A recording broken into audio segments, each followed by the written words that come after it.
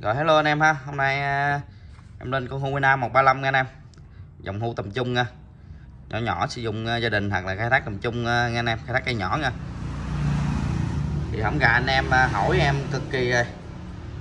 Ngày nào cũng thấy lên tin nhắn hỏi có 135 về cho anh 135 về cho anh.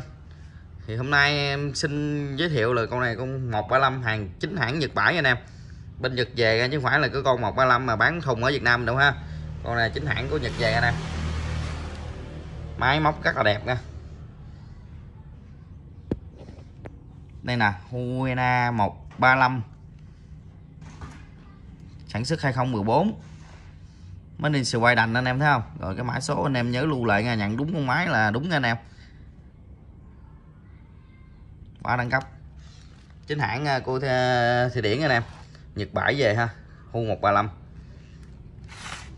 tiền thì nó cũng uh, hơi dơ anh em tại em không vệ sinh cho kỹ ha. Ô vọng còn rất là ngon ha.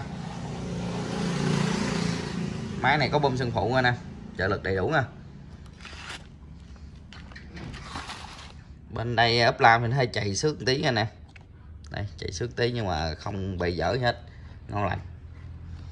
Lam thì à, bốn tấc rưỡi nha anh em sên thì sên 91 xài chung với tin à, nha anh em sên chung với tin nha. Sên đúng công dụng nha anh em anh em mua mà nhảy dính mấy con mà sinh chuột đó là chạy thai không sên cũng cũng mạt đó anh em. Này là sên uh, 91 nha không phải sinh chuột nha sinh thông dụng nha anh em. Máy cực kỳ đẹp nha nguyên zin trăm trăm nha anh em. Rồi mẫu máy này. Con này em bán 2 triệu chín nha anh em. Máy bao zin trăm trăm ha bán ra bảo hành đông cơ anh em là 12 tháng nha. Bảo hành điện anh em là 3 tháng nha anh em. Rồi máy nó giùm anh cái.